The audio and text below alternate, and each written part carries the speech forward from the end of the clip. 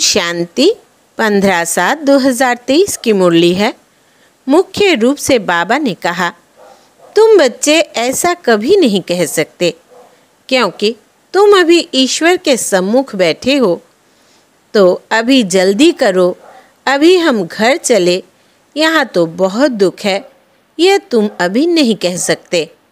फिर कहा, बाप को अपनी अवस्था का समाचार खुले दिल से दो। खुली व सच्ची दिल में ही बाप की याद टिक सकती है। आगे कहा, स्कॉलरशिप लेने के लिए अच्छी रीति पढ़ना है। तख्त नशीन बनने की दौड़ लगानी है। कर्म करते याद में रहना है। हम रूहानी यात्रा पर है। इसलिए और सबकी याद बुद्धि से निकाल बाप की याद में निरंतर रहना है। याद का रजिस्टर ठीक रखना है। अब सुनते हैं महावाक्यों को विस्तार से। बाबा ने कहा, मीठे बच्चे, बाप को अपनी अवस्था का समाचार खुले दिल से दो। खुली व सच्ची दिल में ही बाप की याद टिक सकती है।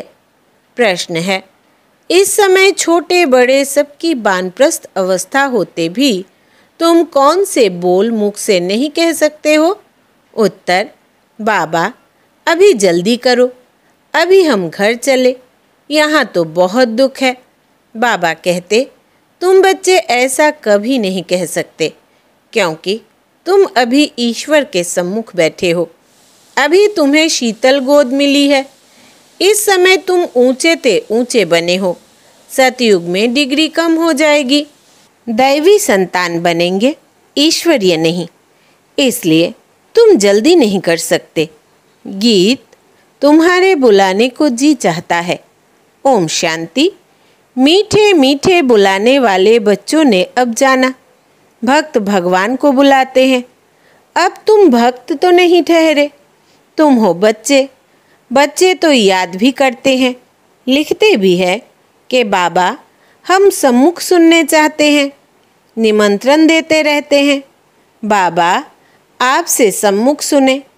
अब सिवाय ब्रह्मा मुख के डायरेक्ट सुनना तो मुश्किल है। बच्चे जानते हैं, बाबा कल्प पहले मुआफिक आए हुए हैं। ब्रह्मा मुख वंशावली ब्राह्मण कुलभूषण नाम कितना अच्छा दिया हुआ है। ब्रह्मा कुमार कुमारियाँ तो बहुत है। उन्हों को ज्ञान मिला हुआ है। परम पिता परमात्मा, जो ज्ञान का सागर है उनको ही सुख का सागर भी कहा जाता है। गाया भी हुआ है, दुख हरता, सुख करता। वो तो शिव बाबा ही है। नाम कितने भिन्न भिन्न दिए हैं। गायन तो बहुत है ना? गाते हैं, हर हर, अर्थात दुख को हरो। भगवान के लिए ही गाते हैं। परंतु भगवान का पता न होने कारण ब्रह्मा, विष्णु, शंकर के लिए कह देते हैं। देव देव, महादेव। शिव को भूल शंकर के लिए कह देते, हर हर महादेव। ब्रह्मा और विष्णु को महादेव नहीं कहेंगे। वो तो दोनों स्थूल पाठ में आते हैं। शंकर सूक्ष्म वतन में ही रहता है। दुख हरने वाला, पतित पावन तो एक निराकार भगवान है। शंकर को पतित पावन नहीं कहेंगे। महिमा सारी एक की है। विष्णु के दो रूप, लक्ष्मी नारायण व राधे कृष्ण है। उनका अलग अलग जन्म होता है। विष्णु अवतरण भी गाया हुआ है। चतुर्भुज दिखाते हैं। परंतु यह किसको पता नहीं है कि पहले लक्ष्मी नारायण स्वर्ग में प्रिंस प्रिंसेस राधे कृष्ण बनते हैं। यह तुम ही जानते हो। यह भी जानते हो, माया का बड़ा भारी तूफ़ान सूक्ष्म में आता है, माया भुला देती है, बहुत तूफ़ान लाती है। कोई भी बात खुली दिल से बच्चे पूछते रहे तो प्रश्न का उत्तर मिल सकता है। तूफ़ान भी अनेक प्रकार के आते हैं, स्वप्न छी छी विकल्प अनेक प्रकार के आते हैं। आंधी तूफ़ान को कहा जाता है। अब यह ब्रह्मा तो नामी ग्रामी है, बाकी भी बाबा ने प्रवेश किया है तो बहुत नामी ग्रामी हो गया है। जैसा जैसा मनुष्यों का देश, वैसा वेश भी होता है। अभी तो देखो, कोई लूल्हे लंगड़े, कोई कुब्जा, किसकी आँख नहीं होगी। वहाँ तो नेचुरल ब्यूटी है, क्योंकि पाँच तत्व भी सतो प्रधान है। तो यह ज्ञान सम्मुख सुनने के लिए बच्चियाँ बुलाती है। गीतों में भी कुछ ना कुछ ठीक है। जैसे देवता धर्म प्राय लोप है। फिर भी मंदिर यादगार तो है ना? यादगार सभी धर्म वालों का है। यह तुम बच्चे ही समझते हो। बरोबर ऊंचते ऊंच एक निराकार भगवान को कहा जाता है। उनका ही गायन है और है भी संगम युग, जब आत्माएँ और परमात्मा मिलते हैं। आत्मा तो बहुत है ना? वृद्धि होती रहेगी। अभी तुम बच्चे सम्मुख सुन रहे हो। औरों की भी दिल होती है सम्मुख सुने। यहाँ आ नहीं सकते। बांधेलियाँ है। और कोई भी सत्संगों में जाने लिए कभी किसको मना नहीं करते। बम्बई में गीता सुनाते हैं। कोई भी धर्म वाले जा सकते हैं। फ़ीस नहीं है। भिन्न भिन्न गुरु पास जाते रहते हैं कि कहाँ से सहज रास्ता मिल जाए। मुक्ति और जीवन मुक्ति के रास्ते का किसको पता नहीं है, इसलिए बहुत ढूंढते हैं। यहाँ तो कोई गुरु गोसाई है नहीं, ब्रह्मा कुमार और कुमारिया बस। महात्मा कोई नहीं, जैसे तुम हो, वैसे यह दादा है, फ़र्क कुछ नहीं है। वेश आदि में कोई फ़र्क नहीं है, यह शाल आदि भी कभी उतार देता हूँ। परंतु ड्रामा अनुसार यह जैसे ऑफिशियल ड्रेस है। ड्रेस को तो देखना नहीं है। बुद्धि शिव बाबा तरफ़ चली जाती है और सभी मनुष्य शरीर को देखेंगे। तुम अपने शरीर को भी भूलते हो और इस दादा के शरीर को भी भूलते हो। देही अभिमानी बनना है। इनके शरीर को नहीं याद करना है। शिव बाबा, इन द्वारा हमको राजयोग सिखलाते हैं। वही नॉलेजफुल त्रिकालदर्शी है। आदि मध्य अंत का राज इस समय बैठ सुनाते हैं। बुढ़ियों आदि के लिए भी बड़ा सहज है। उन स्कूलों में तो बुढ़ियाएँ कुछ समझ न सके। यह सबके लिए सहज है। बाप सिर्फ़ कहते हैं, मुझे याद करो।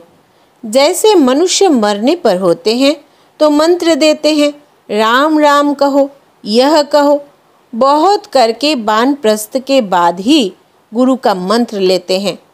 परंतु अभी तो बाप कहते हैं, सारी पुरानी दुनिया का विनाश होना है। बूढ़े, जवान, छोटे सबकी बानप्रस्थ अवस्था है। ऐसे तो और कोई कह ना सके। कहेंगे, सबका मौत लाने तैयार हुए हो क्या? हाँ मौत तो सबका होना ही है। कोई कोई कहते हैं, बाबा यहाँ अर्जुन कब तक रहेंगे? हम जल्दी जावे। यहाँ बहुत दुख है। आगे चलकर भी ऐसे ऐसे कहेंगे। बाबा कहते हैं, ऐसे क्यों कहते हो? अरे, इस समय तो तुम ईश्वर के सम्मुख हो। फिर तो डिग्री डिग्रेड हो जाएगी। जाकर दैवी संतान बनेंगे। अभी यह शीतल गोद अच्छी है। वहाँ स्वर्ग तो होगा ही शीतल। परंतु यहाँ तो तत्ते अर्थात गर्म को भी शीतल बनाया जाता है तो वो अच्छा रहता है। ऐसे नहीं कि अभी जल्दी करो। अभी तो हम ऊंचते ऊँच है। नामाचार ही सारा इस समय का है। दिलवाड़ा मंदिर भी इस समय का है। सारी सृष्टि के आत्माओं की दिल लेने वाला है बाप। दिल वाला मंदिर सभी के लिए है। आत्मा शरीर द्वारा पुकारती है। बाबा, आओ, आकर हमको नया बनाओ। हम पुराने हो गए हैं। आत्मा और शरीर दोनों ही पुराने हैं। आत्मा बुद्धिहीन अंधी बनी है। मनुष्य को थोड़े ही अंधा कहा जाता है। आँखें तो है ना? परंतु बुद्धि अंधी है। आत्मा में जो बुद्धि है, याद करने की वो बिल्कुल भूल गई है। तो गोपिकाएँ कोई कहाँ कोई कहाँ से बुलाती है? बांधेली गोपिकाएँ छोटे छोटे गाँव से बुलाती रहती है। बाप समझाते हैं बच्चे, सतयुग में गृहस्थ आश्रम था, पवित्र था। अभी तो विष के लिए कितना हैरान करते हैं। यह नहीं समझते कि यहाँ निर्विकारी बनाया जाता है। निर्विकारी बनने से फिर क्या बनेंगे? वह भी पता नहीं। सन्यासी भी पवित्र बनने लिए भागते हैं, परंतु उनको यह पता नहीं कि हम पवित्र बन पवित्र दुनिया में जाएँगे। इन बातों को वह मानते ही नहीं। इस समय इतना दुख है, जो समझते हैं, इससे मुक्ति अथवा मोक्ष अच्छा है। बाबा ने समझाया है, ड्रामा में मोक्ष किसको मिलता ही नहीं है। अभी तुम जानते हो, बाप कहते हैं सिर्फ़ इतना याद करो कि चौरासी जन्म पूरे हुए। अब बाबा आया है लेने लिए। बाप को याद नहीं करेंगे तो तूफ़ान बहुत लगेंगे। विवेक भी कहता है, निरंतर याद करना बड़ा मुश्किल है। भल बाबा कहते हैं, तुम कर्म योगी हो, परंतु देखा गया है, कर्म करने के समय याद भूल जाती है। ऐसी अवस्था को पाने में टाइम लगता है। इसमें बहुत पुरुषार्थ करना होता है। कॉलेज में पुरुषार्थी बच्चों को रात दिन पढ़ने की हॉबी रहती है। कोशिश करते हैं गवर्नमेंट से स्कॉलरशिप ले लेवे। बहुत माथा मारते हैं। फिर बड़े खुश होते हैं। यहाँ भी बाप कहते हैं, तुम अच्छी रीति पढ़कर स्कॉलरशिप लो। पहले पहले तख्त नशीन बन जाओ। दौड़ी लगानी चाहिए। तुम जानते हो, अभी बाप सम्मुख बैठे हैं। डायरेक्ट इस रथ में बैठ बच्चे बच्चे कह बात करते हैं। ब्रह्मा का तन तो मुकर्र है। बाप कहते हैं, मैं आत्माओं से बात करता हूँ। तुम पुकारते थे, बाबा, आओ, अब मैं आया हूँ। तुम आत्माएँ भी निराकार हो। हम भी निराकार हैं। तुम भक्ति मार्ग में भिन्न भिन्न नाम रूप, देश, काल धारण कर याद करते आए हो। अब सम्मुख तुमसे बात कर रहा हूँ। तुमको तो अपने शरीर का आधार है। हमको यह लोन लेना पड़ता है। बाप बच्चों को कहते हैं, अब यह पुराना चोला छोड़ना है। नाटक पूरा हुआ। अब निरंतर बाप को याद करने की कोशिश करो। अगर और कुछ याद पड़ता रहेगा तो फिर सजाए खानी पड़ेगी। जितना हो सके औरों की याद निकाल दो। यात्रा पर जाते हैं तो बुद्धि में वही याद रहती है। बस, हम श्रीनाथ द्वारे जाते हैं। तुम्हारी है सच्ची रूहानी यात्रा। आत्मा परमात्मा के साथ योग लगाती है। फिर शरीर निर्वाह अर्थ कर्म करने लिए यहाँ आते जाते हैं। कहाँ भी हो, याद रहनी चाहिए। तुम जानते हो, भगवान सर्वव्यापी नहीं। वो तो बाप है और बाप से तो वर्षा मिलता है। सर्वव्यापी कहने से कोई मतलब ही नहीं निकलता। बाप को तो वर्षा देना होता है। उनको यह आश नहीं रहती कि मुझे वर्षा मिलना है। आश रहेगी, बच्चों को वर्षा देना है। इस बाप की भी दिल में है, हमको वर्षा देना है। बाप और बच्चों का संबंध है। बच्चों को वर्षा लेना है, बाप को देना है। बाप फिर क्या लेंगे? उनको देना होता है। सच्ची आत्मा पर साहिब राज़ी होता है तो कितना सच्चा बनना चाहिए। परंतु सभी बच्चे हो ना तो वर्षा देने वाले बाप को याद करना चाहिए। कच्चे बच्चों को याद नहीं रहता है। शरीर निर्वाह अर्थ, भल कर्म करो, फिर फुर्सत के समय बाप को याद करो। याद की यात्रा का रजिस्टर तुम्हारा ठीक होता जाएगा तो खुशी रहेगी। मनुष्य को जो आदत पड़ती है, वो वृद्धि को पाती है।